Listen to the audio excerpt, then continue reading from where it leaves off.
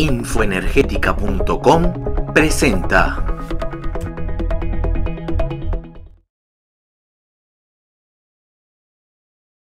Hola a todos, bienvenidos a una nueva entrevista en nuestro canal de Infoenergética. En esta ocasión estamos en las instalaciones de Energy and Waste de nuestro colaborador corporativo tecnológico y me acompaña su director técnico Joaquín Reina. Joaquín, bienvenido de nuevo y muchas gracias por tu tiempo. Buenos días Andrés, es, un placer tenerte aquí de nuevo. bueno, eh, hoy vamos a hablar un poco más eh, en profundidad de la necesidad y la importancia que tiene la limpieza del biogás, que como sabéis Energy Waste es una empresa ingeniería eh, especializada en todo lo que es el tratamiento de este recurso. Bueno, y la primera pregunta, Joaquín, me gustaría hacer un supuesto en el caso en el que yo, por ejemplo, fuera un agricultor o un ramadero y cuento con animales de granja y desechos y quiero utilizarlos para tener un biogás y utilizarlo para, por ejemplo, cogeneración. ¿Qué puedo hacer? Bueno, lo primero que te recomendaría en este caso es que una forma de gestión de estos desechos que tienes, ya sea de tu industria ganadera o de tu industria agrícola, es hacer un proceso de digestión anaerobia con el objetivo de, minimizar este tipo de desechos y tener la posibilidad doble de, por un lado, producir biogás para, para autoabastecerte energéticamente tanto con calor como energía y por el, otro lado, por el otro lado obtener un fertilizante útil para aplicarlo en la, en la agricultura en este caso. Claro, y en este caso entonces, eh, ¿qué tan importante es la limpieza del biogás? Si, optas, si optas entonces porque, decir, si optas por, en el caso de que desees utilizar el biogás para una aplicación, ya sea para la aplicación en la producción de energía o ya sea para utilizar el biogás como materia prima para la producción de otros productos, lo recomendable, una de las cosas eh, importantes en este caso, es la limpieza del biogás. Tener en cuenta que una instalación de biogás no solamente es el digestor, anaerobio, es el digestor anaerobio, todo el sistema de captación y limpieza y luego el sistema de aplicación, es decir, dónde lo vas a utilizar si lo vas a utilizar como eh, biocombustible para producir energía o si lo vas a utilizar como materia prima para la producción de otro producto como es el gas natural, eh, hidrógeno, metanol, etcétera, etcétera. En dependencia de esto, pues tú tendrás que dar un grado de limpieza o no, o mayor o menor a este tipo de, biogás.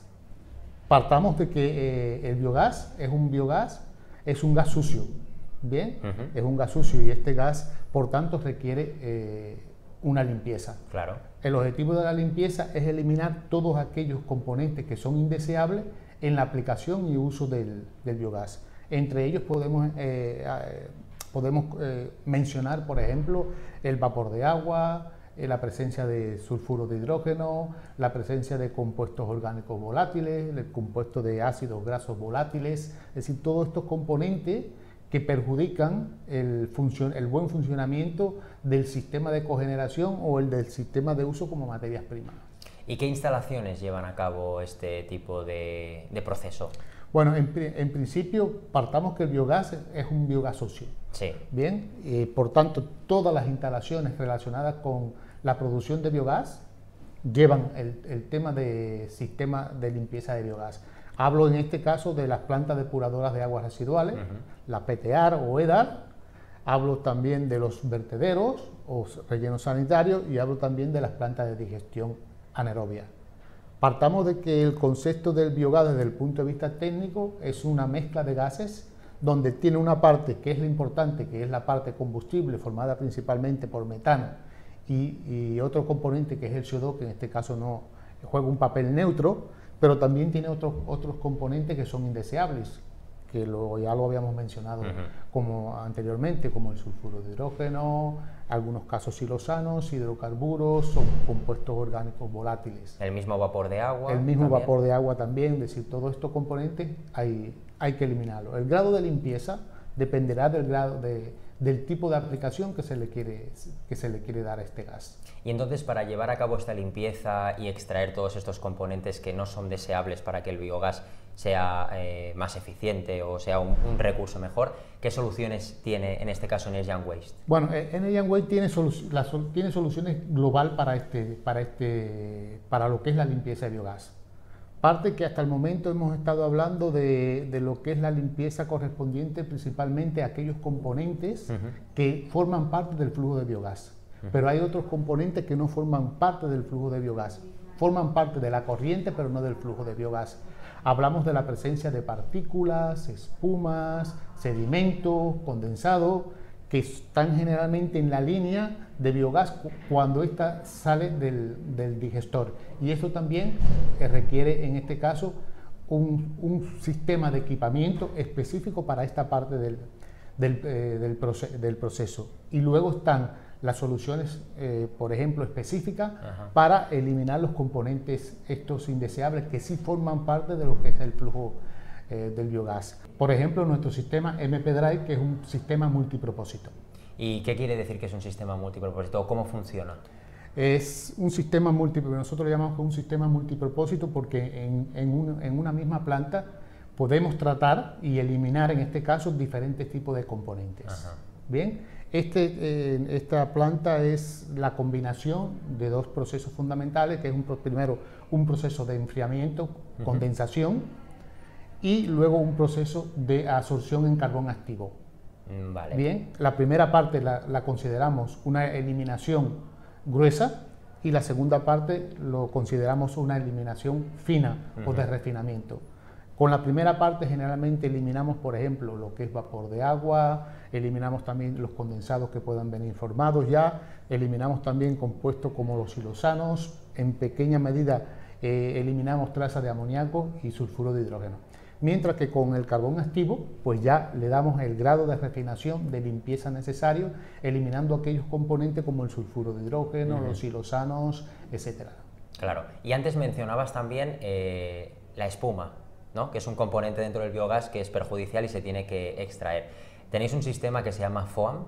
Eh, ¿Qué hace exactamente este sistema o cómo funciona? Bueno, eh, digamos que una línea de biogás en lo que se respecta al tema de limpieza, cuenta de dos partes.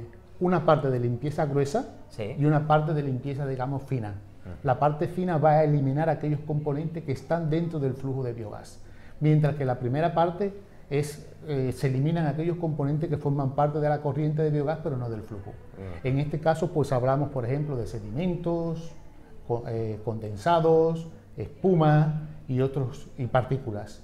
Bien, en este caso nosotros para esta parte de, la limpieza gruesa, pues tenemos el sistema FOAM. El sistema FOAM va dirigido principalmente a la eliminación de espuma y, en, cierta medida a la eliminación de sedimentos. Bien, esta se basa en también una combinación de métodos eh, que es la variación de la cantidad de movimiento, que quiere decir someter al flujo o a la corriente de biogás a unas expansiones bruscas y unos cambios de direcciones bruscas que, que provoca que por las diferencias de densidades, uno, eh, la espuma y los sedimentos vayan al fondo y el biogás, la, parte gaseosa, siga eh, de forma continua por todo el circuito de, biogás. En este caso, al eliminar toda esta parte, estos sedimentos y estas espumas, evitamos pues atasco en, la, conducción, eh, evitamos que los instrumentos de, control y de medición funcionen eh, correctamente y que la línea se encuentre en un estado óptimo en todo momento. Cuando digo línea, digo todo el sistema de, tubería. A esto nosotros le llamamos eliminación gruesa y es la eliminación que generalmente se hace en la primera etapa de la corriente del biogás, es decir, aquella corriente que sale del digestor y ya comienza a entrar a proceso. Y una vez hemos hecho todas, eh, todo este proceso, ya nos queda un eh, gas que es parecido al biometano, que puede ser gas natural. ¿Qué tipo de producto podemos no, tener? No, aquí ya lo que aquí obtenemos, después que hacemos esta primera eliminación gruesa y luego la eliminación eh, fina a través de una de nuestras tecnologías, por ejemplo la MP Drive, ya lo que tenemos es un biogás apto para su uso o aplicación. Usted lo puede utilizar, es decir, con este grado de limpieza ya directamente usted lo puede utilizar eh, como, combustible para la producción de energía.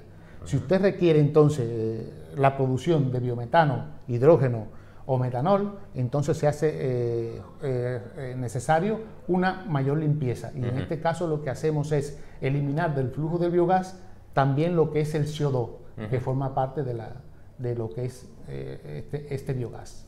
Perfecto. Bueno, pues eh, Joaquín, muchas gracias por trasladarnos eh, todo el conocimiento de cómo funciona y sobre todo la necesidad que tiene la limpieza de un recurso que la verdad eh, puede ser muy importante para la transición energética en España, en Latinoamérica, sobre todo en estas zonas aisladas de red que pueden aprovechar, como decíamos antes, ¿no? los desechos de, ganado o, de otro tipo de recursos para generar un producto que luego se puede transformar, como comentas, en biometano o en otro producto, o incluso directamente ya para generar electricidad. Así que Joaquín, te agradezco tu tiempo y trasladar todo este conocimiento. Muchas gracias a ti, Andrés, por esta nueva entrevista. Decirle que el mundo del biogás es un mundo que está por explorar, por desarrollar, principalmente en España y en toda América Latina, América del Sur, y que presenta, es decir, se presenta eh, principalmente como una como un nuevo renglón en el desarrollo energético de, todos, los, de todos los países mencionados. Totalmente de acuerdo.